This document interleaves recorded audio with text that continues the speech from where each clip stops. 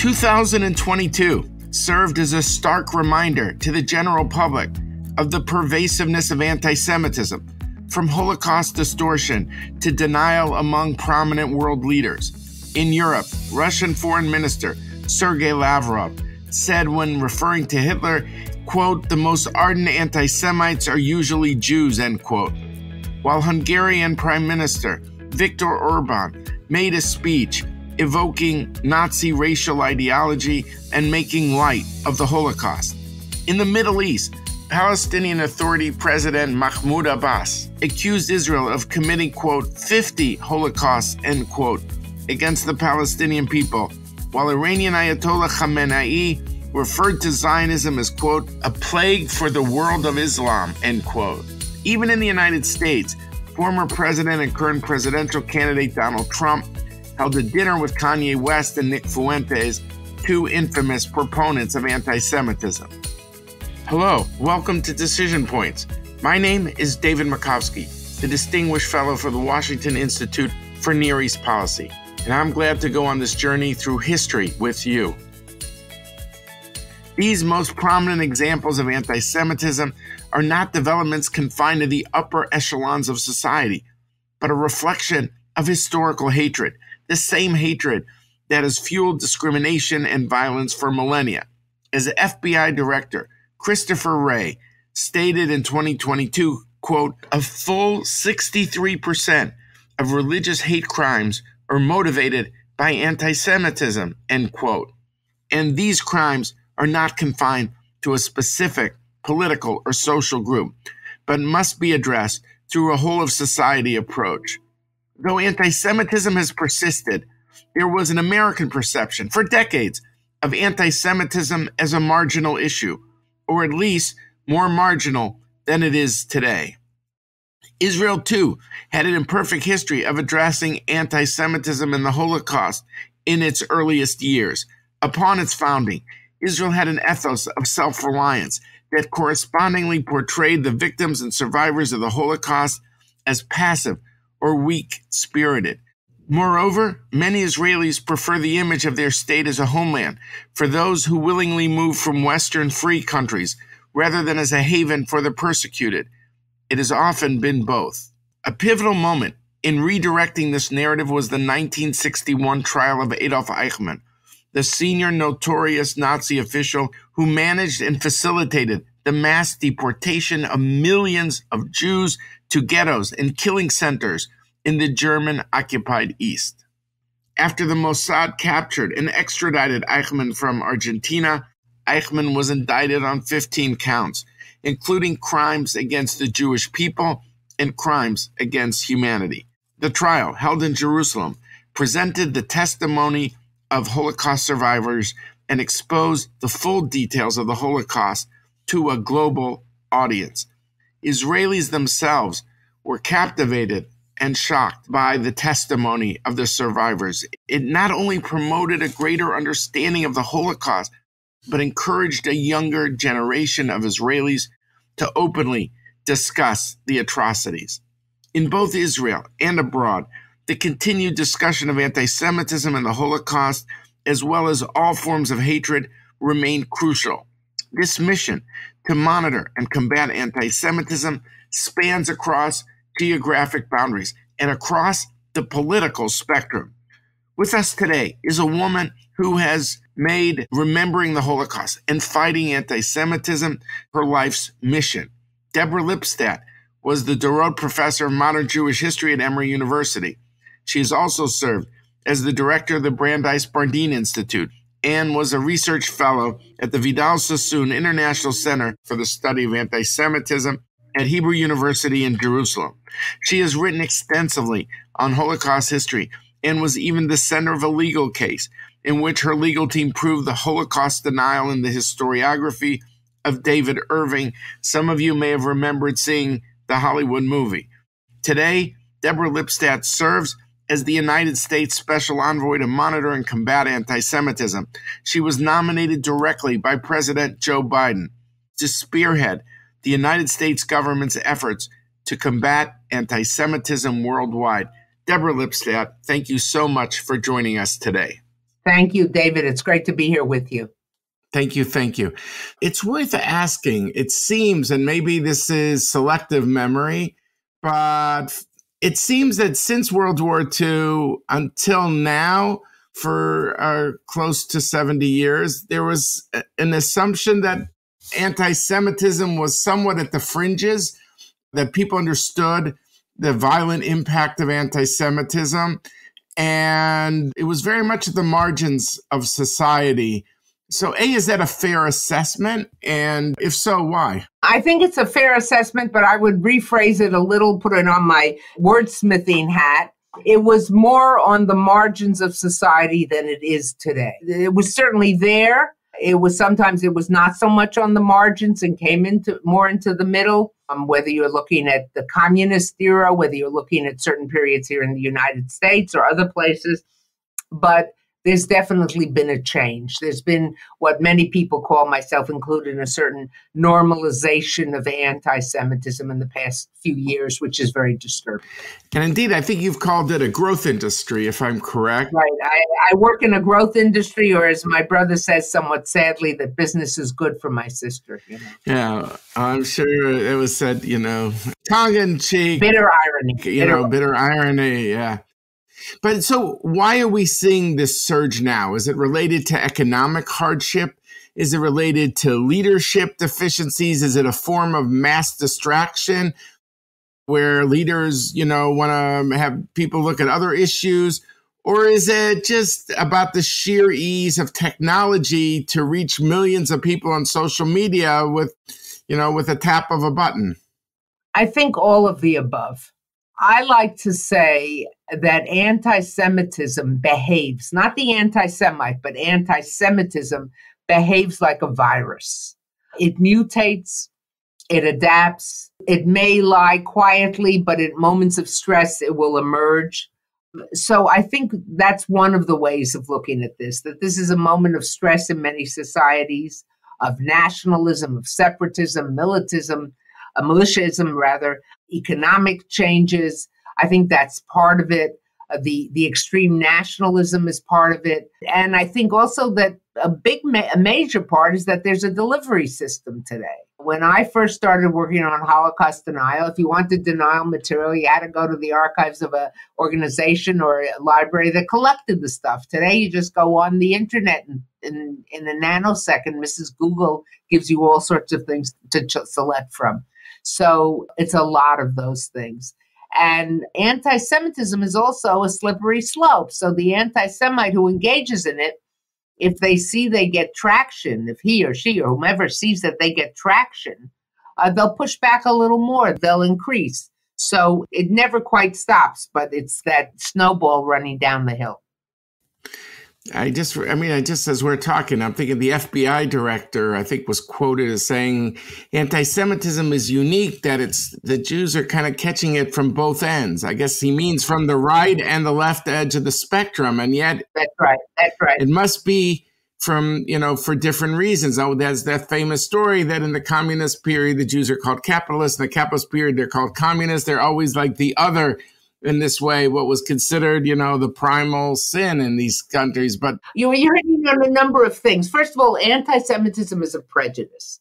And think about the etymology of the word prejudice, prejudge. Don't confuse me with the facts. I've made up my mind you know, how can a Jew be a capitalist and a communist at the same time? How can a Jew be pushy? Jews are pushy. They want to get into clubs that don't want them. Or Jews are clannish. They stick together and they don't allow others in. You can't be all those things at the same time. And yet the anti Semite argues that because it's a prejudice and prejudices are not logical. So that's certainly a major part of it. I also think that it's, as Christopher Wray, the FBI director, was saying in his Senate testimony couple of weeks ago, is that it's ubiquitous.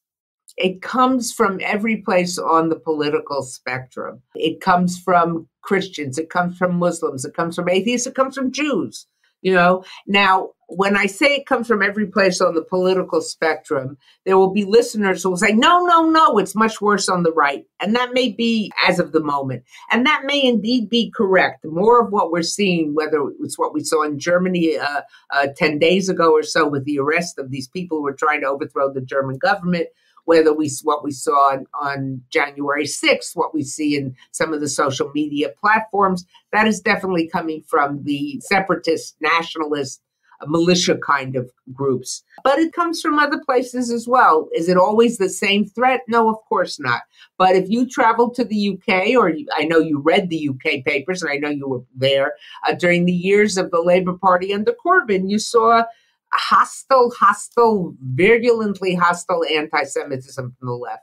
So I hate getting into the whataboutism. You know, well, if you say it's on the right, what about the left? If you say it's on the left, what about? I'm not. I'm not interested in that. I'm going to call it out wherever I see it. And I'm going to call it out. I'm going to say it's different threats, but none of it is good. Now, the Arab world seems to be an unusual place. I mean, you, you know, dedicated time. I mean, you, you've made trips there and you've met with the leadership. I mean, that's also seems like something in flux. I mean, in that we've always talked about the anti-Semitism in the Arab media and all these years. And now some of these Arab governments unclear about the peoples yet, but the governments are trying to find new common ground with Israel. Do you see more hope here on the Arab world based on your trips? Based on my trips, based on my conversations here in Washington with officials from these various Gulf countries, based on my reading, you know, of their media and, and our media, I'm very hopeful. Now, you made a very important point, and the, the irony of you're asking me about this because before I take these trips, I call you and I talk to you about them. But the irony of you're asking me about this is that what you say correctly, we see it so far amongst the governments. We see it to a certain level on the street, but we don't yet see it enough on the street. Uh, I believe during the FIFA competitions, FIFA competitions in Qatar, there was great degree of hostility towards Israeli reporters, towards Israeli soccer fans from people from some of these Gulf countries. One hopes that it will trickle down, that the that it will reach the people. In something like this, with a change like this, it's really got to start from the top. But we hope that it continues down. And if you look at, you know, someone who's who's favored Israeli-Palestinian coexistence, you know, you can't but be uh, to say disappointed is a mild word, uh, angry, I would say, about a statement in Berlin by PA President Mahmoud Abbas saying that Israel's committed 50 Holocausts. And to what extent do you see statements like this as a way of being used politically by these leaders to connect with certain constituencies, the timing, the location of such statements. Abbas's statement, he did, I don't think he said Israel committed. He when they asked him about the Munich Olympics because he was coming up on the anniversary, and he was in the I think he was speaking in the Bundestag with the uh, German chancellor. Yeah, he was standing at the same podium. Yeah, that's right he was asked about it and he said, Don't talk to me about that. I can talk about 50 Holocausts. I believe was August. I had just come back, in fact, from my travels. And we immediately, you know, this is diplomacy by tweet, but that's how a lot of things get out there. We immediately drafted a comment very much uh, decrying it and put it through the clearance process because these things it's just not Deborah Lipstadt talking. When I speak, I'm speaking in the name of the United States State Department, ipso facto American foreign policy.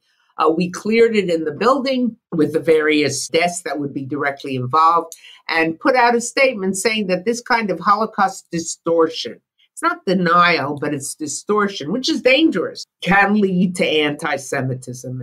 Retweeted it. But to go back to the essence of your question, those kind of comments are not useful at all. They don't further the peace process, however weak and anemic it might be. They don't do anything but inculcate suspicion in the minds and hearts of Israelis and hostility in the minds and hearts of Palestinians.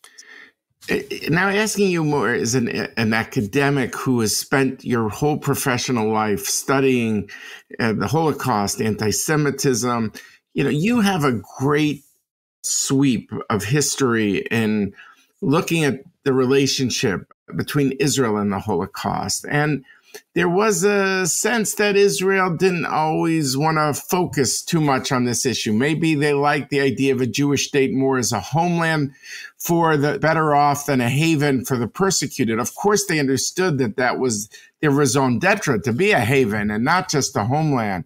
But Israel had a certain, uh, it seems like a complex relationship ambiguous. So how, yeah, because help us out with this because it doesn't sound intuitive. Well, you know where I encountered it and got a chance to study it more in my book on the Eichmann trial. Because the Eichmann trial is really a turning point in how Israel relates to the Shoah. And then I've encountered it again. I just finished a book for Yale, which will be published in their Jewish Live series in the coming calendar year. And of course, I encountered it. It's a biography of Golda Meir. You encounter it very much because you watch her during those years of the Shoah. Israel had a and has, but even had previously a, a very complex attitude or sentiment or uh, towards the Shoah. First of all, you know, the Sabra, the Israeli, saw himself, herself as the Jew who was a victim in the Shoah.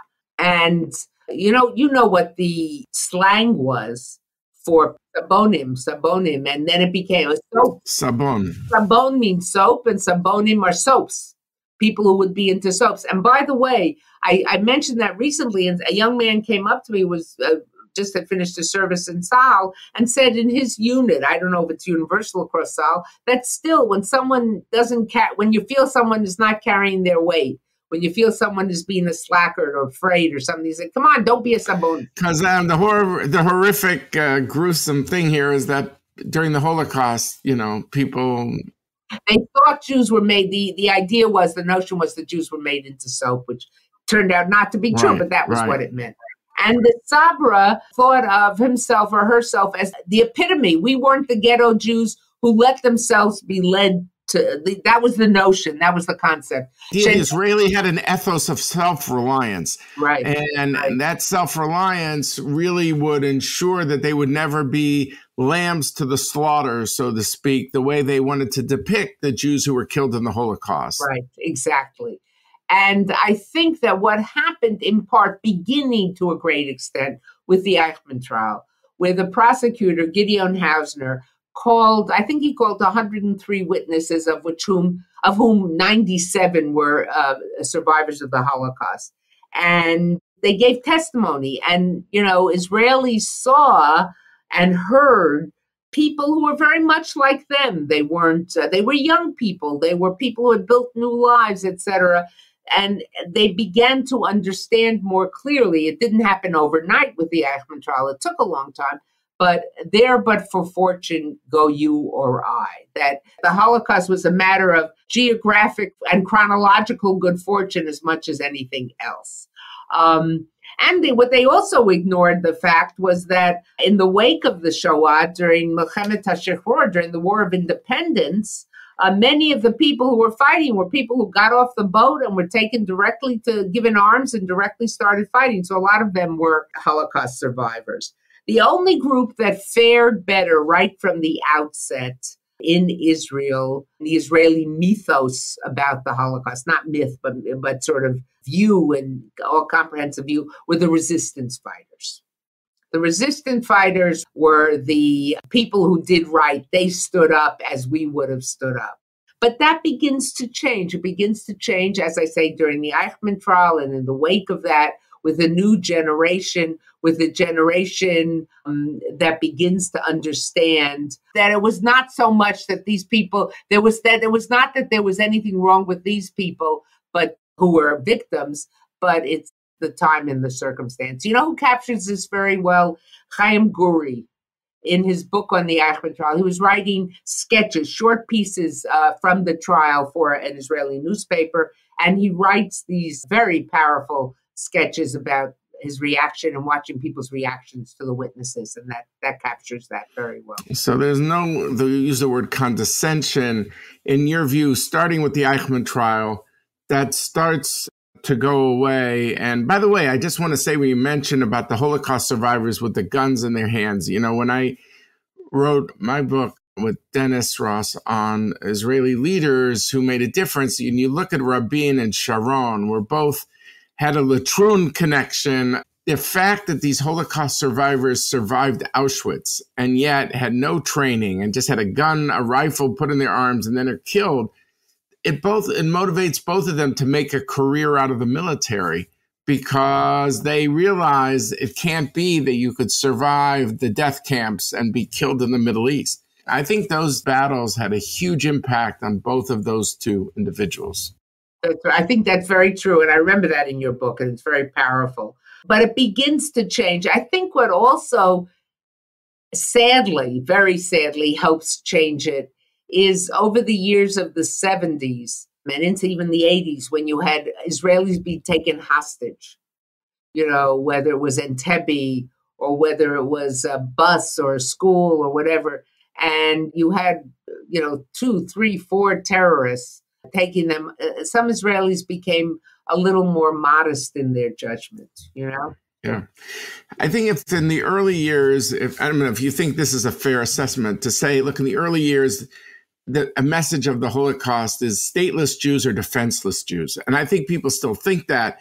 But I also think they come to the view that self reliance is necessary, but it's not sufficient. You need allies in this world. You can't be isolated. You, the world is a complicated place, and you can have a, a Jewish state, but if you don't have alliances, you're vulnerable. And I, I, um, I, I agree with you 100% on both those points. I fear that there are some people who very much take the first point that a Jew without a state is a vulnerable Jew, but forget about the alliance piece. Okay, so we're taping this at the, at the end of 2022. I just maybe just to look back and look forward, you know, what gives you hope? If you could talk about the Middle East, because we're a podcast that deals with Israel and the Middle East, based on your trips about the future, and also just reflect on kind of a status report that it's clear that you're someone who the administration values a lot and is a very high profile member of this administration to deal with an issue. Uh, it has just come out there's going to be a new interagency process given the spike in anti Semitism. So I guess, you know, what are you most proud of and how do you see going forward in terms of the goals ahead? Well, I'm very proud of first of all, being asked by the president to take this job. And, you know, some people thought I was nuts.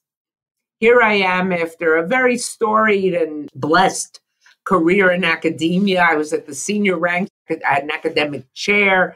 I taught three courses a year, two of which were seminars. I had research assistants to help me with my research, marking papers and other things. And I thought that was a full time job, you know?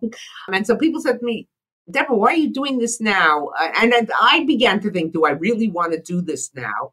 Shortly after I got the call from the White House, I said to a friend, I'm not sure. A friend here in Washington, she said, Deborah, you have to do it. I said, why? She said, because you can make a difference. So that was the end. I stopped. When someone says that to you, you can make a difference. You know, what better epitaph do we want than you made a difference? Now, I'm not sure I'm making such a great difference because, uh, terrible irony, since I came into office, situation has only gotten worse. But I said that to someone recently, and they said, "No, no, Deborah, you're missing the point.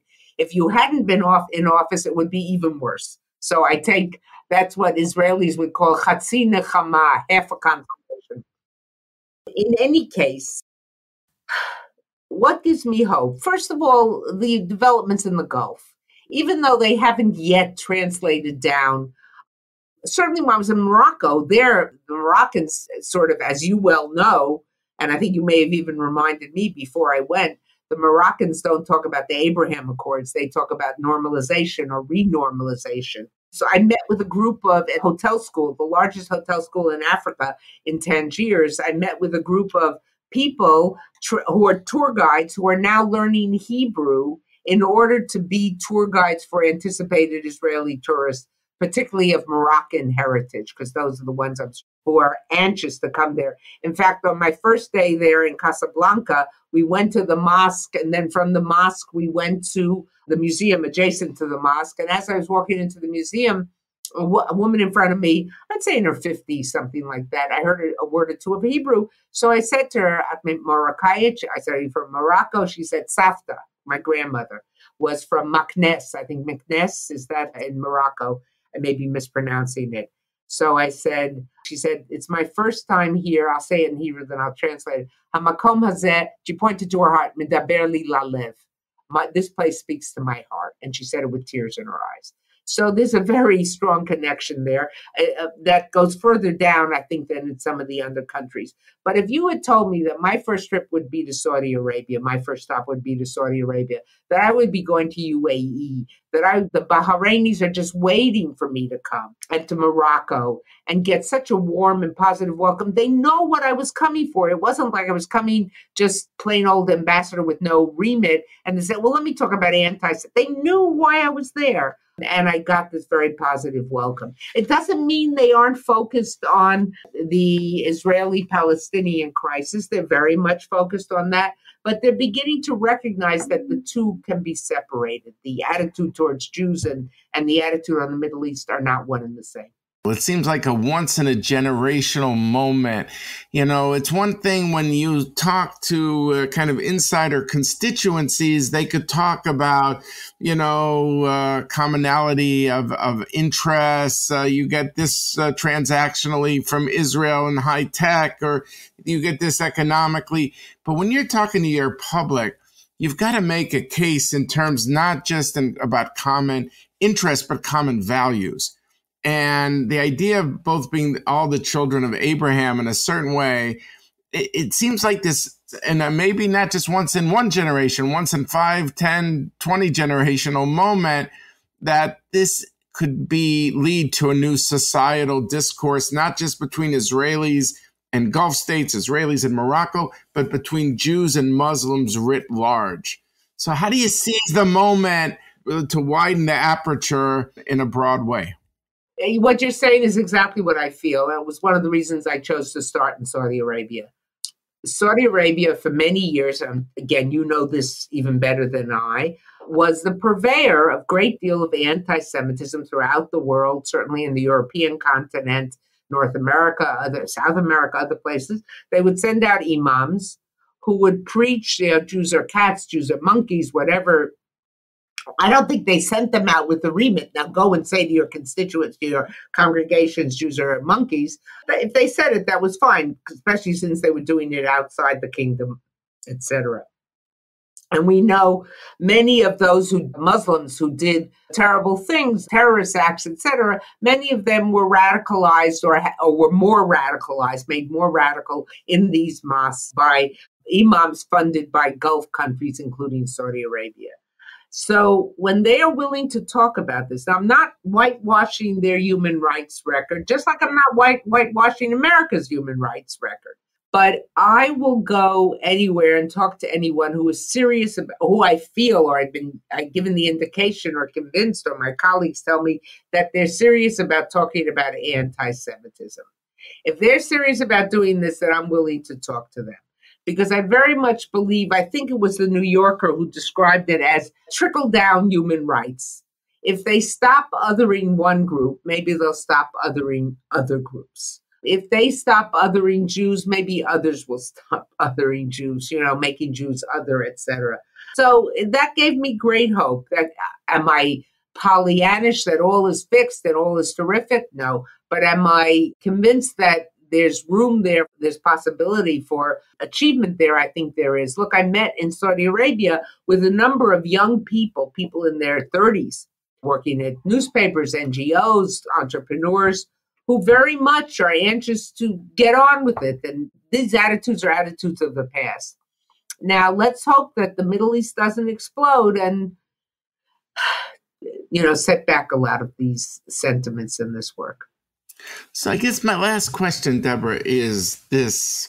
To talk about the people's for those who are anxious in our country here in the United States who've always seen this you know the country of all the great liquid assets the pacific and and the atlantic not having any of the old style you know whether it's a religious anti-semitism nothing like europe in a certain way and given that celebrities are saying certain things and posting certain things, and even comedians might be saying certain things, people wonder what's changing here in our country? Yeah, because I think you have this unique, unique role, and I'm not uh, trying to flatter you, but you're seen as someone who's very authentic. His whole life has been based on trying to combat this and, and remember the Holocaust, fight anti Semitism. People trust you you know, I'm seeing in your office the, the line from the book of Esther, you know, who knows if for a moment like this you've risen to a place of authority would be a loose translation, I guess.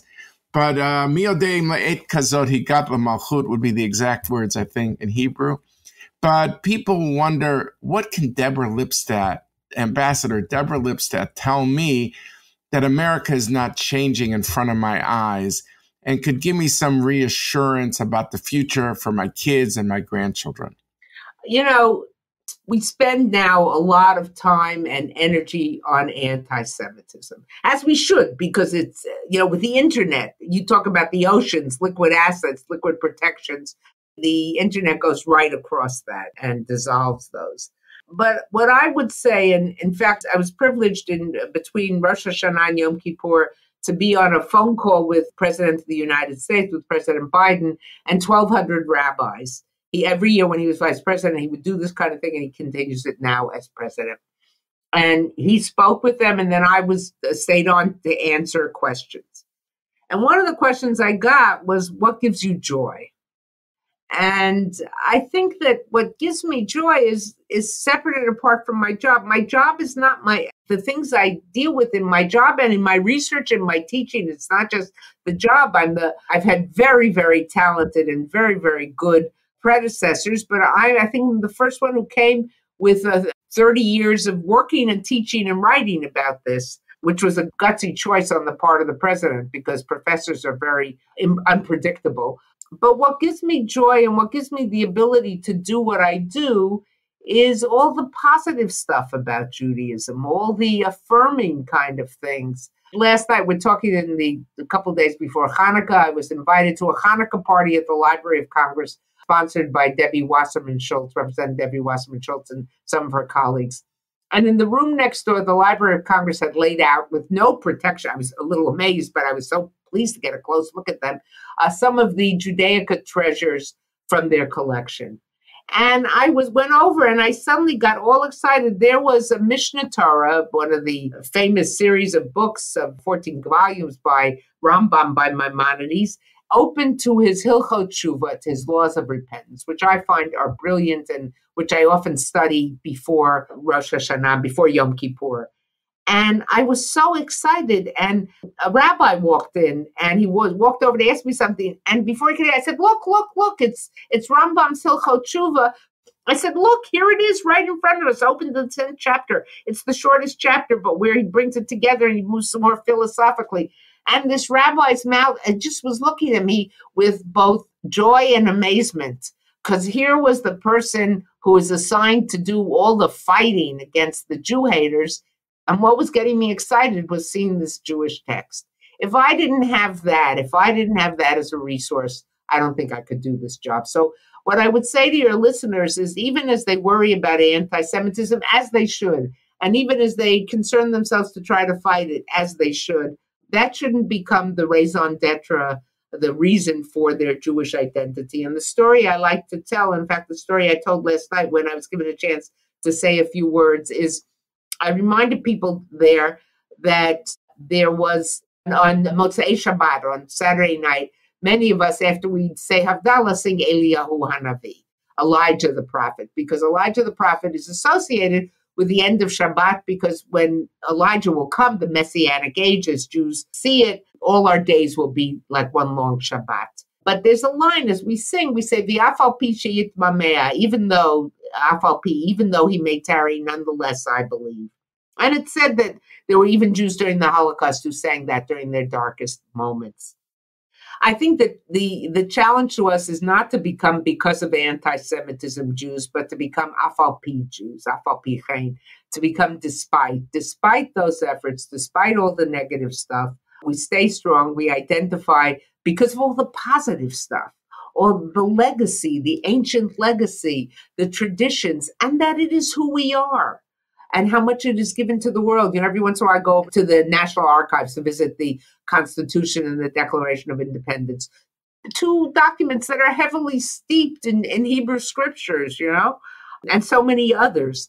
That that's what should motivate us, and we should be uh, yes concerned about anti-Semitism, but identifying not because of, but afalpi, despite. And just to add a note to this, which you may know, that one of the ships of the Mapilim, the Jews who snuck into the Yishuv, into then Palestine in the years immediately after the Shoah, after the Holocaust, one of the ships was called the Afal Pichain. So you're saying, remember why you're in this. You're in it for the affirmation of a long history and a, a rich culture that you think is resonant with a lot of meaning, and not just for the past, but for the future. And don't be just an anti anti Semite. That's right. That may get your juices flowing. That may bring you to the barricades, but you should know how Jews lived and not just how they were attacked and not just how they died. You should know what Judaism stands for and not just what the anti Semite says against it.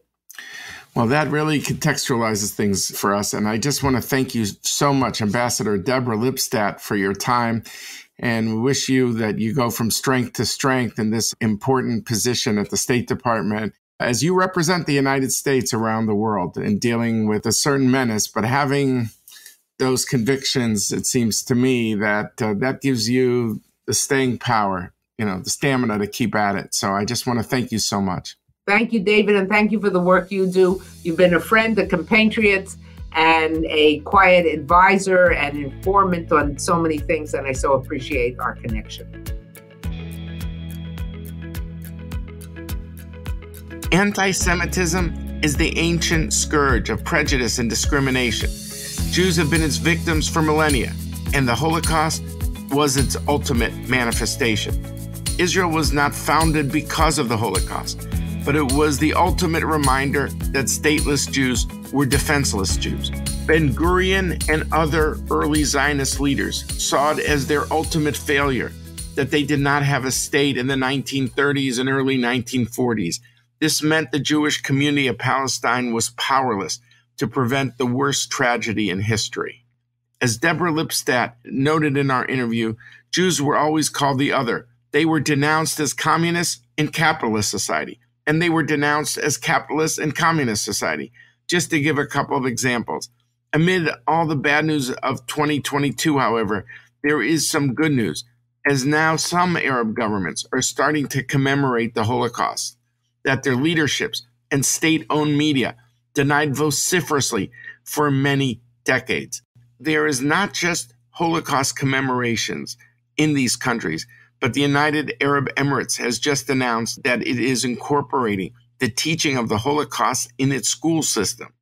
When Deborah Lipstadt talks about combating anti Semitism, she said in our interview that it should never be the sum of identity to be anti anti Semites, focusing not just on rooting out hatred.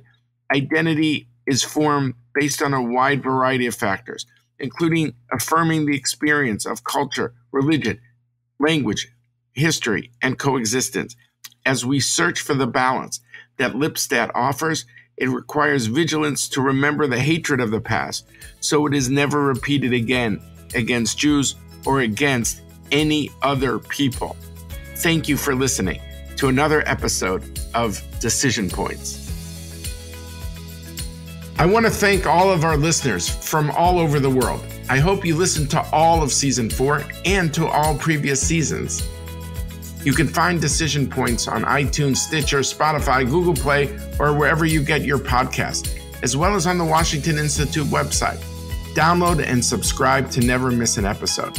While you're there, please leave us a review and rating and tell your friends.